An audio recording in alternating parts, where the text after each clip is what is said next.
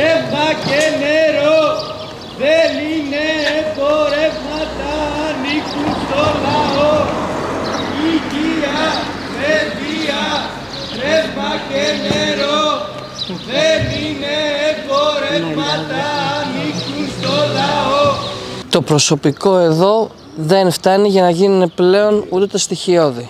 Ήδη και άλλοι συνάδελφοι ξέρουν βέβαια περισσότερο ότι για να κάνει κάποιος εδώ μαγνητική τομογραφία θέλει πάρα πολλούς μήνες γιατί δεν υπάρχει ούτε ιατρικό ούτε και νοσηλευτικό εργαστηριακό προσωπικό. Γενικότερα είμαστε εμείς οι επικουρικοί που καλύπτουμε πάρα πολλές πάγιες και διαρκείς ανάγκες και τώρα οι ανανεώσεις που, θα που γίνονται κάθε χρόνο είναι απλά το μαρτύριο της σταγόνας περνάμε. Για τις ελλείψεις του προσωπικού επίσης, οι προσλήψεις που θα κάνουν δεν τις καλύπτουν. Ε. Και οι προσλήψεις αυτές θα είναι επί της ουσίας από επικουρικό προσωπικό που θα μονιμοποιηθεί. Χρειαζόμαστε μόνιμο προσωπικό που να καλύπτει τις ανάγκες και νέους συναδέλφους που θα είναι με όλα τα δικαιώματα που πρέπει να έχουν και όχι συμβασιούχους που δεν μπορούν να πάρουν άδεια ή, δεν ή τους χρωστάνε ρεπό πόσους μήνες ή άδειες όπως ξέρετε και έχουν πει και άλλοι συνάδελφοι από πρόπερση που χρωστάνε από το 22. Ε, επίσης θα μου επιτρέψετε να αναφέρω και το θέμα των χαμηλών μισθών. Έγινε κάποια αύξηση τώρα αρχή του 24, αλλά δεν φτάνει καθόλου με την αύξηση των προϊόντων, των τιμών των προϊόντων και την πληθωρισμό.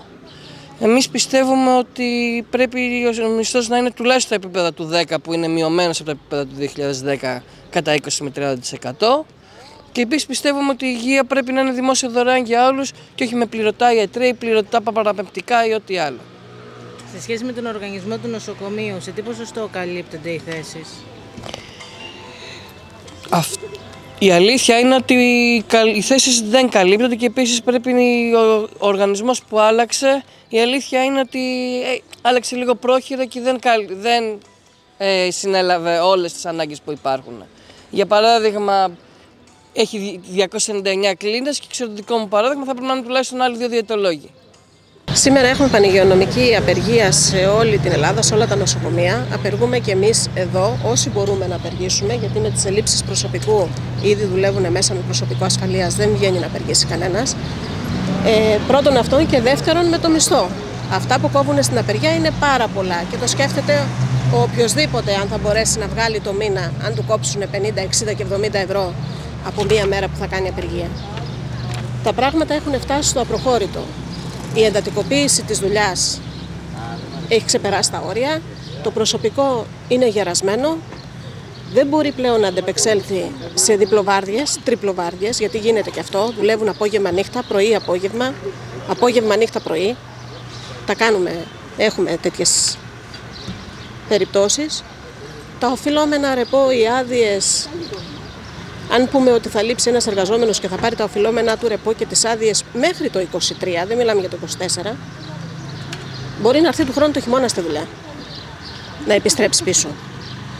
Τι άλλο να πούμε, μέχρι τώρα τα προβλήματα δεν έχουν φανεί στον κόσμο γιατί μιλάμε για προσωπικό το οποίο έχει μεγάλη ευσυνειδησία στη δουλειά του ε, και είναι περήφανοι άνθρωποι αλλά αυτό το εκμεταλλεύονται και η κυβέρνηση το εκμεταλλεύεται και η διοίκηση το εκμεταλλεύεται. Δεν εθελοτυφλεί στα προβλήματα που πραγματικά έχουμε.